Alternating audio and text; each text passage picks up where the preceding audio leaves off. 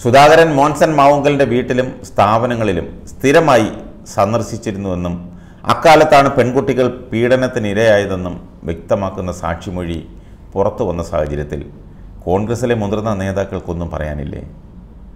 നിങ്ങളുടെ നാവുകൾക്കും വിലങ്ങിട്ടിരിക്കുകയാണോ?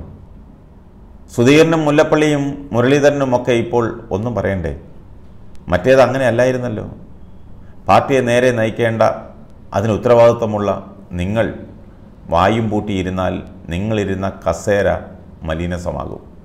ഒരു സംശയം വേണ്ട. മോൻസം മാവുങ്കലിനെതിരെ പെരുമ്പാവൂർ കോടതിയിലുള്ള കേസിൽ സാക്ഷി നൽകിയ മൊഴിയിലെ വസ്തുതകൾ സുധാകരനെതിരെ ഉയരുന്ന ആരോപണങ്ങൾ സാധൂകരിക്കുന്നതാണ്. ഇത് മാധ്യമങ്ങളെല്ലാം കൊട്ടിഘോഷിക്കുമ്പോൾ നിങ്ങൾ മൗനം പാലിക്കുന്നത് എന്താണെന്ന് മനസ്സിലാകുന്നില്ല. അത്ഭുതം തോന്നുന്നു. മോൻസന്റെ കോസ്മോസ് എന്ന സ്ഥാപനത്തിൽ രണ്ടായിരത്തി പതിനേഴ് മുതൽ രണ്ടായിരത്തി പത്തൊമ്പത് അവസാനം വരെ ജോലി ചെയ്ത യുവതിയുടേതാണ് ഈ സാക്ഷിമൊഴി. ഇവർ നൽകിയ പീഡന പരാതിയിലും മോൻസൺ പ്രതിയാണ്. പീഡിപ്പിച്ച് ഗർഭിണിയാക്കിയെന്ന് രണ്ടായിരത്തി പത്തൊമ്പത് ജൂണിൽ ഗർഭഛിദ്രം നടത്തിയെന്നുമാണ് പീഡനക്കേസിലെ എഫ്ഐആറിൽ പറയുന്നത്. പെരുമ്പാവൂർ കോടതിയിലുള്ള കേസിലെ സാക്ഷിമൊഴിയിൽ രണ്ടായിരത്തി പതിനെട്ട് മുതൽ താൻ അവിടെ ഉണ്ടായിരുന്ന കാലങ്ങളിൽ പലപ്പോഴും സുധാകരൻ എത്തിയിരുന്നതായി പറയുന്നു. പീഡനം നടന്ന കാലത്തടക്കം അവിടെ ആരെല്ലാം വന്നിരുന്നു എന്ന ഭാഗത്ത് പെൺകുട്ടി പറയുന്നത് ഞാൻ ജോയിൻ ചെയ്ത് കുറച്ച് കാലം കഴിഞ്ഞ് എബിൻ എന്ന ഒരാൾ അദ്ദേഹത്തിന്റെ സഹായിയായി അവിടെ ജോയിൻ ചെയ്തു. കോൺഗ്രസിന്റെ ഭാരവാഹിയും സുധാകരനുമായി അടുത്ത ബന്ധവുമുള്ള ആളായിരുന്നു എബിൻ. രണ്ടായിരത്തി പതിനെട്ടിൽ എബിൻ ചേട്ടനാണ് സുധാകരൻ സാറിനെ അവിടെ കൊണ്ടുവരുന്നത്. അവിടെ വെച്ച് ഡോക്ടർ സുധാകരൻ സാറിന്റെ കണ്ണിന് താഴെയുള്ള പാടുകൾ മാറ്റിക്കൊടുക്കാമെന്നും തടിയും വയറുമെല്ലാം കുറച്ച് കൊടുക്കാനുള്ള ഉപകരണങ്ങൾ ഇവിടെയുണ്ടെന്നും പറഞ്ഞു. സുധാകരൻ സാർ നാല് അഞ്ച് ദിവസം ഉണ്ടായിരുന്നു ഡോക്ടർ തൊട്ടടുത്ത് തന്നെ ഒരു വീട് ഗസ്റ്റ് ഹൗസായി എടുത്തിരുന്നു. അവിടെയാണോ സുധാകരൻ സാർ താമസിച്ചിരുന്നതെന്ന് അറിയില്ല. ട്രീറ്റ്മെന്റ് കൂടാതെ സുധാകരൻ സാർ ഇടയ്ക്കിടയ്ക്ക് എറണാകുളത്ത് വരുമ്പോൾ ഭക്ഷണം കഴിക്കാനും അവിടെ വരാറുണ്ടായിരുന്നു. ഈ സമയത്ത് ജിജി തോംസണും മറ്റു ചില കോൺഗ്രസ്സുകാരും പള്ളിയിലച്ഛനും അനൂപും മറ്റും അവിടെ ഉണ്ടായിരുന്നു.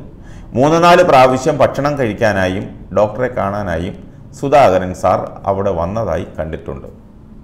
മോൻസണിന്റെ വസതിയിലും സ്ഥാപനങ്ങളിലും പീഡനം നടന്ന സമയത്ത് താൻ എത്തിയിരുന്നില്ലെന്ന സുധാകരന്റെ വാദം തെറ്റാണെന്ന് യുവതിയുടെ ഈ സാക്ഷിമൊഴി തെളിയിക്കുന്നു. ഇതാണ് മൊഴിയിലുള്ള പ്രസക്ത ഭാഗം. മോൻസണിന്റെ വസതിയിലും സ്ഥാപനങ്ങളിലും പീഡനം നടന്ന സമയത്ത് താൻ എത്തിയിരുന്നില്ലെന്ന സുധാകരന്റെ വാദം തെറ്റാണെന്ന് യുവതിയുടെ ഈ സാക്ഷിമൊഴി തെളിയിക്കുന്നു. അതുപോലെ പരാതിക്കാരന്റെ മൊഴി നിങ്ങളുടെ വംശം തന്നെ ഇല്ലാതാക്കുമെന്ന് സുധാകരൻ ഭീഷണിപ്പെടുത്തിയതായി പരാതിക്കാരൻ തൃശൂർ സ്വദേശി അനൂപ് മുഹമ്മദ് പറയുന്നു. രണ്ടായിരത്തി ഇരുപത്തൊന്നിൽ മോൻസൺ അറസ്റ്റിലായ ശേഷമാണ് സുധാകരന്റെ മനസാക്ഷി സൂക്ഷിപ്പുകാരനായ യൂത്ത് കോൺഗ്രസ് നേതാവ് എബിൻ എബ്രഹാം വഴി ഭീഷണി മുഴക്കിയത്. സുധാകരന്റെ ശബ്ദ സന്ദേശം എബിന്റെ മൊബൈൽ ഫോണിൽ തന്നെ കേൾപ്പിച്ചുവെന്ന് അനൂപ് പറഞ്ഞു. ഇതുമായി ബന്ധപ്പെട്ട് മീഡിയയിലോ ചാനലിലോ കൂടുതലായി പ്രതികരിക്കാൻ നിന്നാൽ നിങ്ങളുടെ വംശം തന്നെ ഇല്ലാതാക്കുമെന്നായിരുന്നു സുധാകരന്റെ ഭീഷണി. മോൻസണിന്റെ വീട്ടിൽ സുധാകരൻ ഇടനിലക്കാരനായി നിന്നാണ് ഇരുപത്തിയഞ്ച് ലക്ഷം രൂപ കൈമാറിയത്. നമ്മുടെ ഫണ്ട് റിലീസായാൽ സാർ അടുത്ത മുഖ്യമന്ത്രിയാണെന്ന് മോൺസൺ സുധാകരനോട് പറഞ്ഞു അത്രേ നൂറ് കോടി ഇതിനായി മുടക്കാൻ തയ്യാറാണെന്നും മോൺസൺ അവകാശപ്പെട്ടു.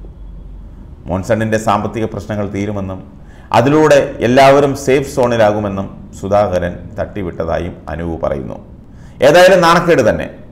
സുധാകരൻ ഒരു നിമിഷം പോലും കെ പി സി സി പ്രസിഡന്റിന്റെ കസേരയിൽ ഇരിക്കാൻ യോഗ്യനല്ല. എത്രയും വേഗം രാജിവെക്കണം.